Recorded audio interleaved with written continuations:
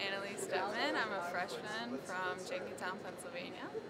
And um, my major is psychology, and I choose it because I like to study people um, and try and figure them out.